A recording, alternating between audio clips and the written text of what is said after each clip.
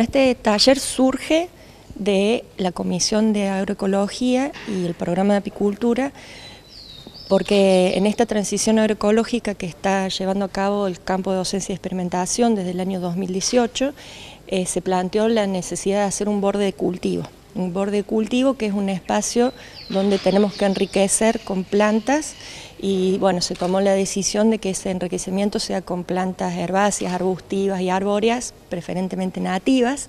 y en ese marco, eh, más allá de las plantas que el vivero de la Facultad de Agronomía Veterinaria aporta al proyecto,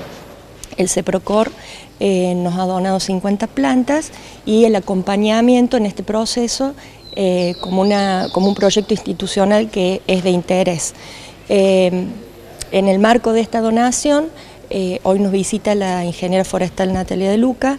para hacer un primer encuentro de un taller que es sobre el cultivo de especies nativas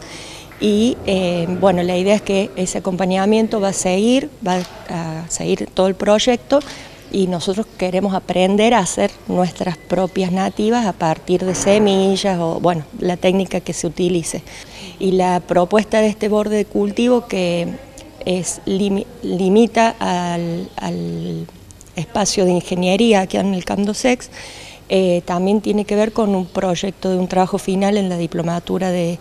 superior de agroecología de eh, evaluar cómo eh, afecta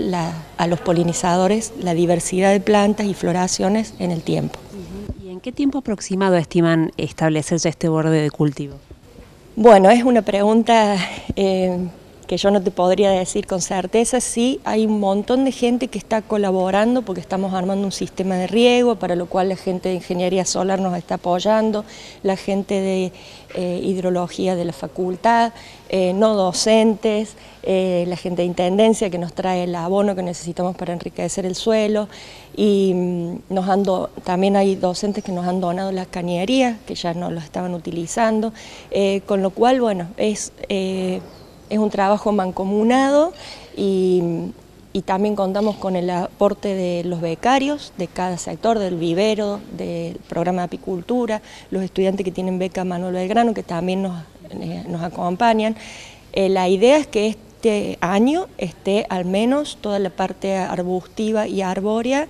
eh, plantada y sembrar